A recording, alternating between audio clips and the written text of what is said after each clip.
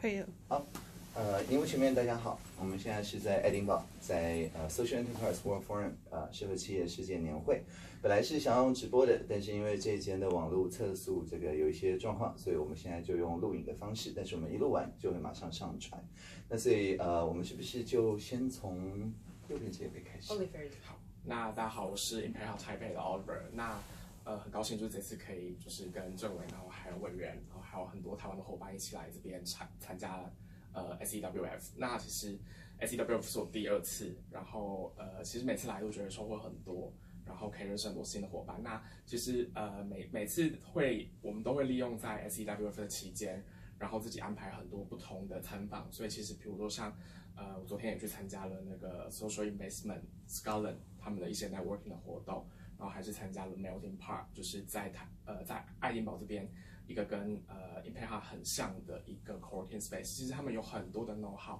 然后还有很多的一些模式是值得我们来做呃做学习的。然后其实，在很多的经验当中，就是也可以让也也会跟大家分享说，那其实台湾有很多好的经验，然后我们也希望透过就是在 SCW 当中，然后可以把我们很多好的经验跟做法，然后输出到其他的国家去。那其实呃很很多时候在会里面会有很多的大灾问，那我觉得大灾问其实也都是很适合，就是呃台湾，因为台湾这次有七十多位的团员，然后所以大家都可以把这些大灾问，然后带回去给更多的社企伙伴们。好像加拿大、纽西兰、台湾是三大团嘛，是今年。嗯，对，超过五十位。嗯，有些人我记得三十八位，我们七十二位。真的是，而且他们还是上一年的主办方。对对对，我们赢了，我们赢了。嗯 Karen 这次其实很很厉害啊，有有分享，就是包含社创国会啊，嗯然后整个社创方案，要不要跟大家聊一下，就大家的 feedback 怎么样？哦，我先吗？对啊我在想说先请你。啊是吗 OK，来你先，对来，先来，你 真的，哎，你先吧。要自选吗？好，没关系，我们就先把重要的交给董事长来分享好了。我先谈一下我的一些呃观察。那呃，这是我大概第五年 involve 这个社会企业的这个世界论坛。我记得第一年是在呃韩国哈。那其实之前在做社会企业，其实大部分社会企业在想的就是说啊，我到底做这件事情怎么去帮助到别人，就是每天在想这件事情。你很难会去想说，我需要什么样的一个环境，让大家都能够让自己的社会影响力就是呃提高。所以其实 ACWF 韩国那一场，呃，带给我还蛮深刻的一个概念，就是社会企业的一个 ecosystem 哈。那其实社会这个社企呃社世界社会企业论坛，他们每年大概都会有呃很多很多不同的 panel，然后会去谈说啊，到底这个呃怎么拿到资金啊。哦，然后是说他对地区的发展是什么？呃，就是很多很多的 thing 在这个地方。所以我所谓的社会企业的 ecosystem，其实它是 dynamic 的，就是说我们透过这么不这么多的 issue，然后去串起说这个整个的连接哈。那大概这样。那我比较想要分享就是说这一次我有三个地方，呃，我觉得是比较呃 impressive 的，因为。今年其实也是 SEWF 呃，就是十周年，就是他们当初起起心动念要成为一个呃这个知识交换的平台，那个国际型的平台，其实就是在爱丁堡，然后那是第一届，那今年又再一次的，就十年之后又再一次的回到爱丁堡，所以我觉得他们想要 facilitate 的一些呃这些议题，所以在这一次特别的这个呃大会里面，我们看到有很多的 debating 哦、debating 的这部分很有趣，那。我觉得就说，其实我们自己哦，因为这件事情引爆了之后，我们长期在关注社会企业。其实社会企业蛮有趣，就是说它有很多的 transformation。就刚刚我就听到一个讲者讲说，他在那个达拉斯的世界经济论坛上面，大概有二十几种社会企业的定义，非常多。那所以我觉得十年磨一剑，在这个过程里面，我们非常 enjoy 这些 process，就是社会企业的 process。可是回到了初心、起心动念。到底社会企业的本质，它的起就是起始点是什么？我觉得我们可以再去思考这件事情，然后以及就是说我们在呃这个我们到底想要挑战什么，解决什么？为什么这样子的 environment 设计是这么的重要？那以及就是说社会企业为什么就还有哪些挑战等到等着我们去克服？那我觉得在起心动念这个地方，我觉得可以先谈谈呃苏格兰的例子。那我们其实来到苏格兰就知道，就是到处那个天寒地冻啊，然后什么高山啊，然后就没什么资源啊，除了那个古堡可以卖之外，对，所以他们的这个社会经济的 awareness 其实已经是升值在他们自己的这个呃社会里面，所以你就会看到他们这些所谓的社会企业的案例，就是呃他们是真的这些人想要帮看到这些社区的问题，想要帮这些社区解决这些问题，然后因此开展了一些他们的 business model。那以这是我们很多团员去参访的，叫做 Calendar 这个地方，它就是讲一个水坝。这水坝的收入，他们拿来再投资在当地的 community base 的这种呃这种 business，就是社区型的企业里面。然后他们企这种社区型的企业活动赚的钱再投入到社区里面。其实我觉得这个东西很像苏格兰版的地方创生的，所以我我在这一次这个大会里面，我特别的去看的就是说。How social enterprise 就是呃可以就是呃 involve 到这些呃 rural place，这其实是我还蛮关注的一些地方。那我觉得说呃其实各个地方都有不同的一些呃 background，像我可以分享一个我觉得很有趣，就是在呃澳洲呃这个 Victoria，他们就是把一个呃这个呃监狱改变成一个社会企业的一个中心，然后然后反正就是还有做教育，就从小就教小朋友在那个 rural place 就教小朋友就是 how to create job。而不是变成一个 job seeker，就是就寻找这个 job 的人，所以所以你就可以看到说，其实社会企业我们还可以做很多很多，然后可以呃贡献这个社会很多的地方。那当然就是说整个 ecosystem，我刚刚提到就是说它是 dynamic。那事实上我们也在讲说，这个 ecosystem 要就是能够越广越好，越广越好。所以，我这次在这次大会里面，我们就分享说，呃，国会的角色，因为其实各国没有国会的角色，台湾很特别，我们有国会的角色哦。对，那我们台湾就是在呃这个今年，我成立了一个社会创新国会，那其实就是希望说，国会能够作为一个呃 resource connection 的一个平台，同时可以更联系各个不同的就是比较破碎的资源在一起，以及让这个社会企业的呃 voice 可以被听到。那所以我就分享了我们在国会做的一些动作，包含我举办了很多社会企业的咖啡馆，请到不同的这个立法委员跟企业家呃这个畅谈，所以我们就发现现在呃在台湾立法院越来越多的立法委员是支持社会企业的哦，然后还可以朗朗上口，甚至已经有一些合作了。对，那第二个部分就是说呃我们社会企业的这个修法。那可能呃，等一下这个呃，政委可以多讲一些这部分，因为其实行政院呃在政委的领导下，在公司法的修法上面，我们有很大的突破，然后包含就是哎，我我要留着给政委讲哈，对对对对对，然后还有社会企业，还有社会创新行动方案，我觉得也是这个政委来来阐述，我觉得是更更更确实的，所以呃，我觉得就在这一次分享里面，我觉得台湾真的可以 inspire 更多的国家，在国会或是在整个 ecosystem 上面的行动是更丰富的。那呃，再来就是说，呃，回到就说，我们其实在这十年在思考，就说到底为什么这个时间点社会企业这么重要？其实呃，我觉得以西方或者以全球的观点来看，最主要是说，大家觉得在呃雷曼兄弟的这种金融风暴之后，大家对资本主义真的不信任了，这是第一个问题，就是资本主义的瓦解。我们没有资本主义之后，我们需要什么样的一个这个呃市场的这种，或者是说这样子的一个。呃，社区的或是社会的这种经济形态，来让人类可以维持下去，所以这个是很重要的一个原因。那第二个部分就是在于说，呃，这个气候啊，然后这种呃 SDG 几个社会问题越来越严峻，越来越严峻。那我们其实呃还有科技的发达，其实更应该是以人为出发来服务人类跟社区。那当然就是说，我们下一个世代其实他们受到很好的教育资源。他们有非常非常多的能力，像现在台湾有很多斜杠青年，那所以我们怎么样号召这些呃下一个世代的这些能力来投入，变成一个这个呃不是 trouble maker，而是这种呃 trouble 这种 solution 的这种 provider。哦，其实这些都是我们在讨论呃社企为什么反而就是这种呃结合社会使命跟这种 business 这样子的形态的这样子的一个呃经济体。呃，然后呃越来越重要，然后以及怎么样让它变成说是一个新的呃 economic system，好这些事情，那我觉得大概是呃这一次我觉得呃很棒呃的一些收获。嗯，我我好，谢谢，就先这样子。对啊，很棒。所以，我我觉得真的每年论述都越来越完整，好像这个 sector social sector 已经不会被好像第三部门好像排到第三去的那种感觉。对。但是现在都是说 social sector，我们就是跟大家平起平坐。我们已经快不是 sector 了。真的，已经 core sector，已经快要 快要席卷整个社会。好，看老师有没有什么想分享？是啊，呃，对，刚刚立伟也提到说，这是第呃，从第一届举办到现在，经过十年，又回到这边来，啊，爱丁堡这边来举办。所以这一次的主题，它其其实就是说，哎，去过去十年有什么有什么好的，然后未来十年有什么新的期望哦。那我看到，其实我这一次来，我看到在开幕式的时候，呃，有两组小朋友啊，嗯。就是一个是大概是国小国中的，对。啊，那他们是借由这种课程游戏啊，去了解社会企业是什么，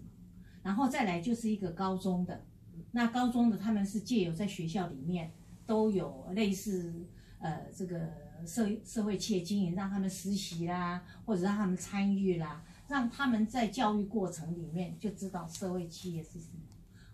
哦，那对很多年轻人有这个创业理想的，他一开始就有这样的一些呃这个好的这个基础，在他的这个意识里面，将来在他创业的过程，他就可以以一个哦，每一个创业都当然应该赚钱，但是一定要有一个使命，而不是只有赚钱。哦，那我想这个也是他未来十年，他期待说这样的意识可以联合起来，他甚至可以打败一个 Amazon，嗯，一个 Uber。哦，因为 Amazon 它几乎都要控制我们这整个整个，不要说去那个地区，就是几几乎全球都受它牵制哦。那我们将来是用我们这种社会企业的联合的合作的力量去取代这样的一个哦一个大的企业。那可是大的企业，比如说像 Uber，大家都知道 Uber 对员对劳工就是不够好啊、对，那像这样的情况，如果有我们的社会企业的理念原始去发展，绝对不会有这样的一个情况发生。所以我想，这个就是我们呃年轻人在创业的过程，我们一定要先呃用一个社会企业的这种啊、这种集体的这种教育啊，去引导他们，非常的重要。哦，那也提到说哦，政府就是要把投资者跟我们这个青年创业家好好做一个高速公路，让他们连接起来。哦，这是未来十年大家对这个这件事情的期望。我觉得这个这个这个论坛，它它的价值就是哦，不是让我们只有了解一些案例而已，而它实际上是真的是可以结合一些力量。哦，那如果要谈到这里面的一个比较感动的故事哈，对一个年轻人来讲，哦，像伊索比亚那个女老师，哦，她她的事情。很容易可以明了，因为她发现伊索比亚那么多小朋友，他们没有上学，还有很多小朋友一上的学中中间又辍学，哦，没有办法完成学业。那女孩子更没有那个教育的机会，所以他就从广播、从电视媒体，他自己去找力量，哦，然后很积极，其实很困难，每一件事情要做好真的很困难。但是你就是要持续，要有耐心，要克服啊、哦。那最后你看他现在做的这么好，他不但编动画教材，不但拥有五个电视台哦，所以他就在伊索比亚，他这次有带了很多他跟培育的年轻人一起过来，我大家看了都非常感动，全场真的是给他最热烈的那个掌声哦。所以我觉得说。一个年轻人，他只要他有这个，呃，有一个梦想啊、哦，然后不怕困难啊、哦，那新的 idea 其实是一个新的做法而已，它也不一定说一定要是一个全新的什么，因为开电台、开广播这很久以前的东西了，可是它就是结合在新的地方去做结合，那就变成一个很好的效果啊、哦。那我想呢，这个也是我们。这次来，其实大家都非常有同感哦。那也跟没有来的同年轻朋友一起分享。嗯，很棒。这次我主持的呃，就是第二天的一个最后的论坛，它叫做 Tech for Good，就是说运用技术，然后来达到共好，来到社会价值。那我印象最深刻的就是坐我旁边的那位 Howard，他是做助听器的。可是呢，他完全不懂电子电路，他也完全不懂生产。他就是有一次就是去了非洲，因为他这个就是有一个女儿叫 Sarah，然后也就不幸这个过世了。过世了之后，他为了找寻人生的意义，那他就去非洲想帮忙，他也不知道做什么。那他去的第一天就是应该是 Peace Corps，就带了一个这个叫做 Sarah，跟他年纪因为年纪一样的小女孩进来说，她听不见，但是她有一个想法。这个想法就是说，我们这边非洲这个 Botswana 这个太阳这么好，它一定不需要一直买电池，它应该可以用太阳能来充电，然后来又做一个永续的一个助听器。那那个小女孩她自己有这样子的想法，而且她是用 sign language，用用手语。去去表达这个想法，所以他不得不去学手语。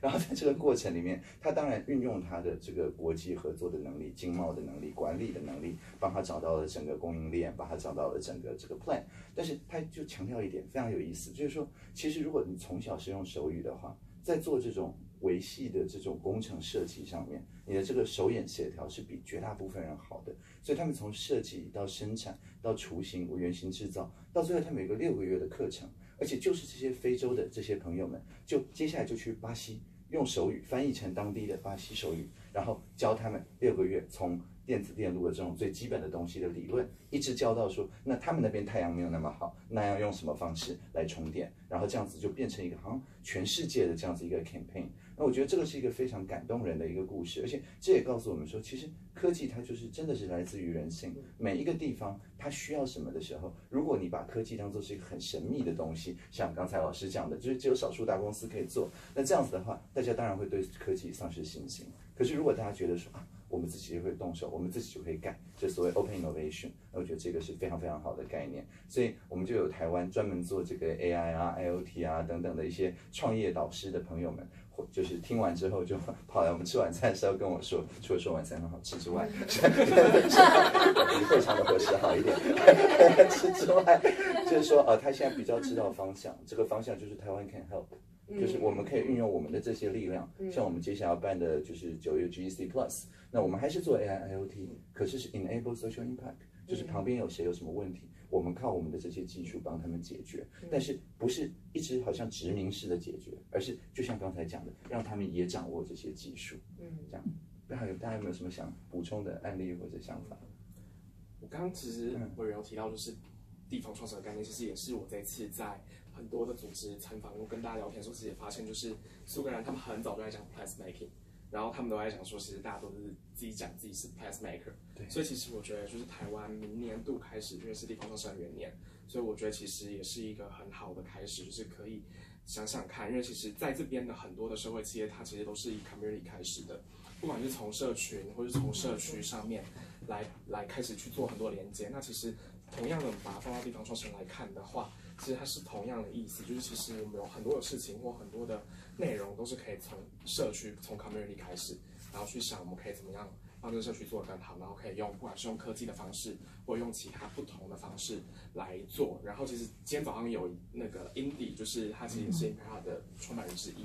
然后他就提到就是 social enterprise should be innovative instead of just making chocolate bars in in an ethical way，就是他就说。社会创社会企业应该要变得更创新，用更多新的方法、新的模式，而不是是过往可能都是呃，我卖一个东西，我卖一个巧克力，然后可能是很有理念，但是其实他觉得这不一定是接下来十年社会企业应该有的模样。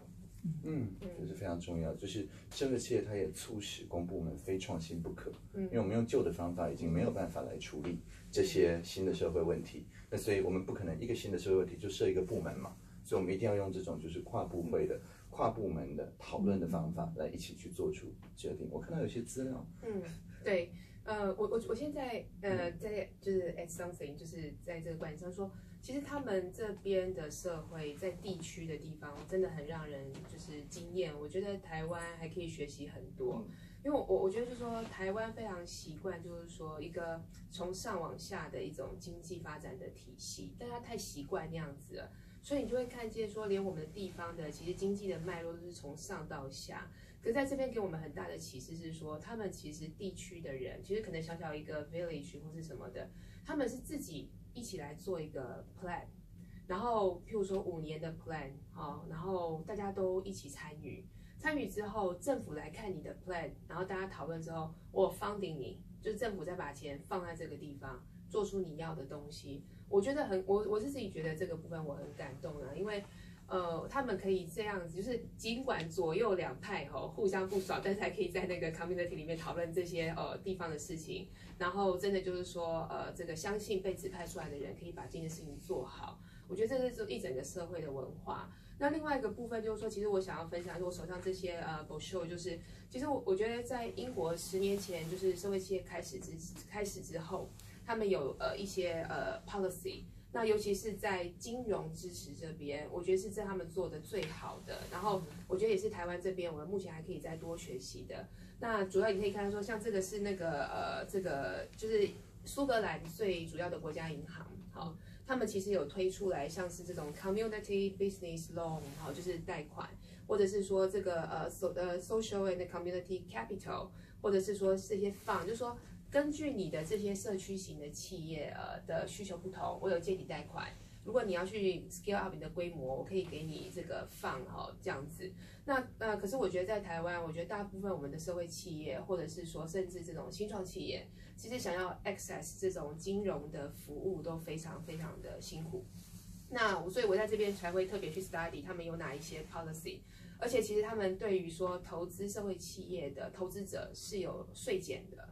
是有税减，就是你讲投资社会企业，他可能给你几，嗯，可能好几 percent，三十 percent 吧，我如果没听错，三十 percent 的这种呃 tax reduction，去鼓励更多的呃社会的这种 social capital，真的可以被引入到社会企业里面。那我是期待，就是说我们在这个金融体系这一块，呃，能够多往这些方式呃去思考，就说。呃，去思考为什么台湾的这些呃银行啊，宁愿把钱都给那些大财团啊，好几百亿被亏空之后啊，哦，然后就然后全民纳税人来承担，就我们这些需要可能只是两三百万做个社区企业的都贷不到钱这样子哈。我觉得如果能够改变这样子的一个呃方式的话，我觉得我们台湾的社会企业绝对是会非常蓬勃的。对这些分享，嗯。对，我觉得他们跟银行家讲的那个讯息，他们已经磨练到一个程度。像我的 panel 另外一位，他是百分之百的员工全部都是呃，我们说是 autistic，就是他是呃，就是 neurodiversity 嘛，有这个呃精神的多样性。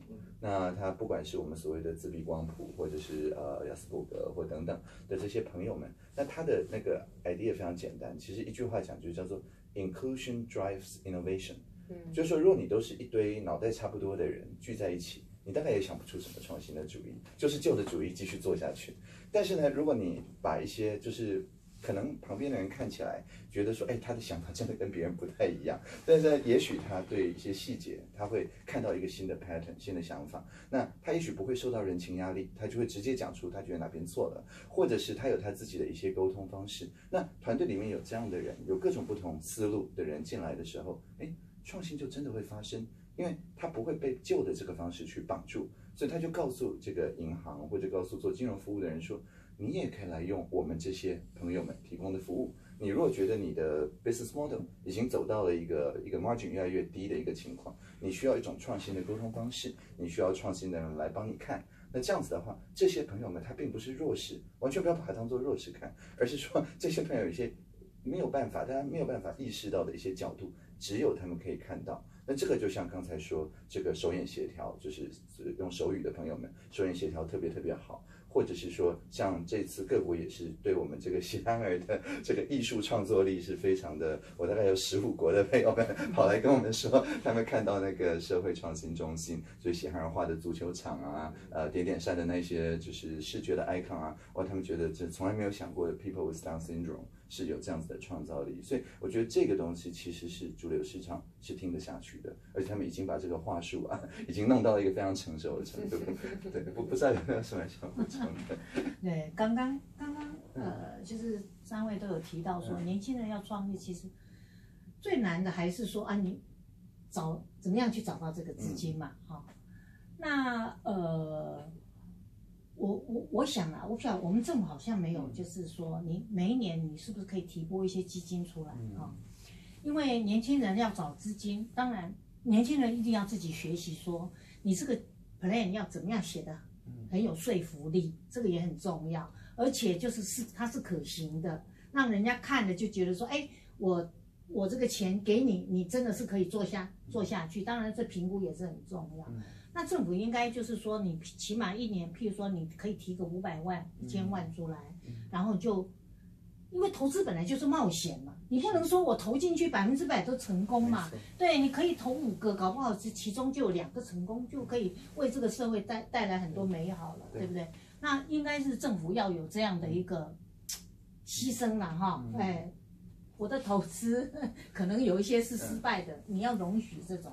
嗯，失败。其实国发基金应该是在 Karen 的这个潜移默化底下，最近有蛮大的转移。就是说，本来是大家都知道是补，有点补助的性质。那虽然有一点点回馈，但是还是补助性质居多。但是确实，我们现在就是把它调整到刚才老师所讲的投资性质。对，投资性质就是不怕你失败，是你失败只要肯分享，对大家就是好事。然后呢，在另外一个部分就是说，它是 joint venture。就是说，政府不会是最大的股东，不是说社会企业都变国营事业，那样也很奇怪，而是说我们这样子把资金投进去之后，我们会把它的这个社会价值转译成刚才讲的主流市场听得下去的这种可持续性投资的这样一种语言。然后去找民间的这些 angel 也好，这些我们国际上所谓的 impact 的资金也好，呃 venture philanthropy 也好，等等的这些资金进来。那我觉得这次，因为我们有永续发展目标，我们特别是说，如果你提出案子，你可以讲得出很清楚的，你在解决几点几的那个问题，那全世界都有资金在解决这个问题，我们就很容易一下子做媒合。那我觉得这一点其实是以前没有的，就以前这种资金的那种共同索引的这种感觉好像比较没有，但是在这一届其实大家都在用 SDG 当做投资的共同索引。嗯嗯，对，嗯，其实我觉得在这边其实有一些那个案例是可以让这个投资可能更好的，譬如说像我们这次大会主席 Jerry 他所属的这个 CEIS，他们其实在他们后面有房，他们是负责管这个房的，那就说就说你是社会企业，Oliver 送了一个案子进来。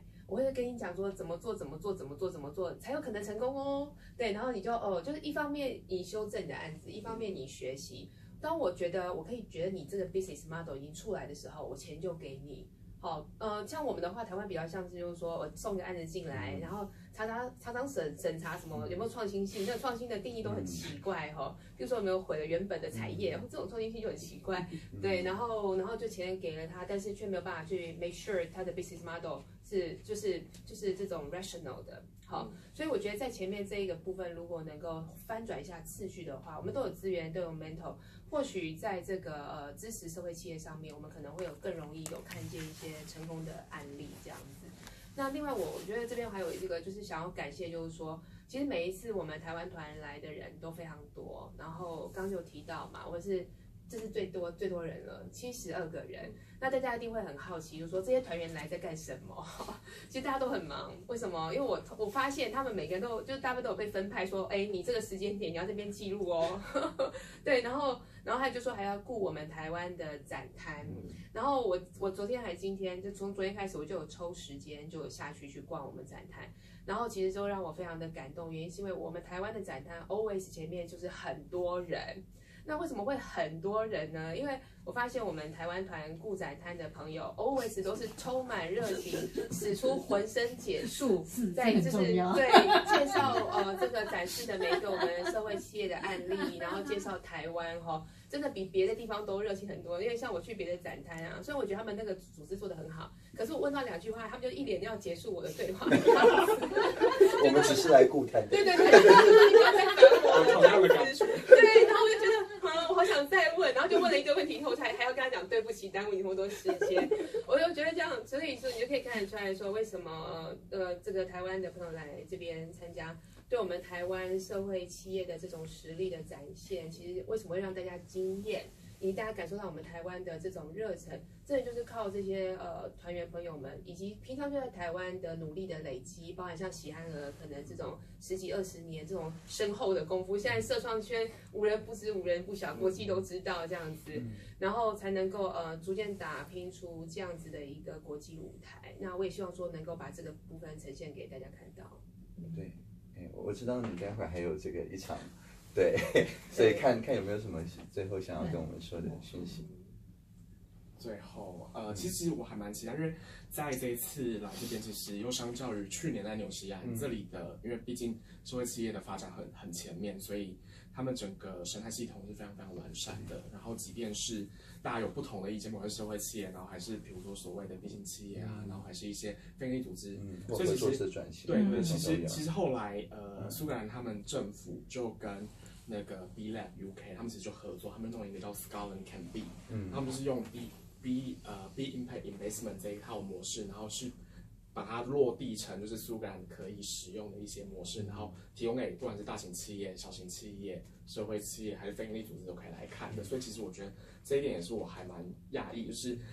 大家的意见非常不一样，可是最后面他们可以找到一个共通性。然后大家在这个共同性上面去建构更多的内容。那除了这之外，其实我自己还蛮期待，就是呃接下来的十年，台湾的社会企业的整个生态系统可以在政府，然后或是在私部门，就是公司伙伴关系啊，然后或者在更多不同的组织的共同努力下面，然后我们可以让社会社企业的生态系统变得更好。嗯，非常棒，嗯，对啊，这次我们其实也试了一个新的尝试，就是我们有一个共用的网站，SI Social Innovation 点 T A I W A N 台湾点 G O V 点 T W。我们之前其实常常是每个部会自己有一个讯息，自己有一个网站，然后大家 Google 的时候就不太知道是怎么回事，因为台湾是有，且有十二个相关部会，然后每一个都有自己的一套说法嘛。那但我们这一次就把它全部整合在一起，然后一个 QR code，所以我们的团员的手册啊这些，其实大家这样一扫，马上就用英文就可以了解到我们台湾对于 SI 的这个概念是一致的，这是一个一致的讯息。那我们当然不止 SI 台湾、AI 台湾、Smart 台湾、Bio 台湾，我们现在都开始用这种跨部会的方法。那这次也非常感谢，就是外交部从国组、国传各个部分的朋友们，因为如果不是他们的话，首先我们就没有这个网址可以用，然后也没有那么好吃的晚餐可以吃，然后也没有办法那么顺利的跟十几国的 minister 换到名片，所以这也很很感谢外交部朋友的努力。我们最后有一个讯息，就是说，因为明年秋天的年会是在伊索比亚，然后他们要把这一整套跟以前就是所谓的 development program，就是帮助这个发展，可能不一定非常非常切合当地需要，所以他们现在觉得说好，那我们来让当地人自己决定这个补助的方向等等，所以这是一个新的尝试。但是他们也理解，并不是每个人都很容易去伊索比亚，所以在今年秋天到明年秋天中间，呃，是哪一位要来讲这个讯息吗？就是好啊。好啊，那我们要跟 SEWF 就是一起办呃，就是亚太社企高峰会。那他们非常非常的呃 impress，就是我们在今年五月明日亚洲，那他们有 Jerry 也有来，然后他来以前可能是觉得说，哎，这个台湾能能担当起亚太的重镇的这个名字吗？那他来了之后，哇，完全就被说服了。对，所以我们这次谈的过程非常非常顺利，因为他们的呃要求其实就是是民间主办，是民间来设定议程。那政府包含国会、包含行政院，当然是全力的去支持。